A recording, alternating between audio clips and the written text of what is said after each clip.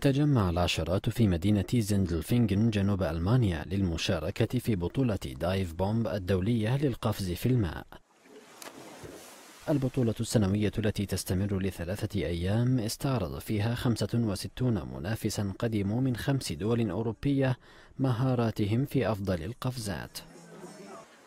ومن منصة القفز التي ترتفع لما يصل إلى عشرة أمتار ينطلق المشارك قافزا في الهواء ليستعرض شقلبات بهلوانية قبل بلوغه المياه في حوض السباحة ويختار الحكام في البطولة الفائزين بناء على تلك الحركات وطريقة دخول المياه. وكلما كان الارتطام بسطح المياه أقوى كلما زادت فرصة المتسابق في الفوز.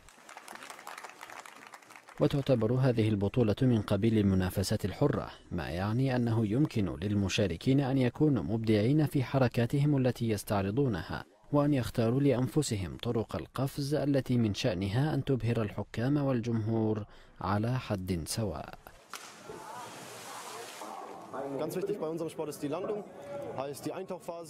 راينهارد ريدا الفائز في مسابقة العام الماضي قال إن أحد أهم الأمور في هذه الرياضة هو مرحلة الوصول إلى الماء كما أن مرحلة الغوص مهمة أيضا.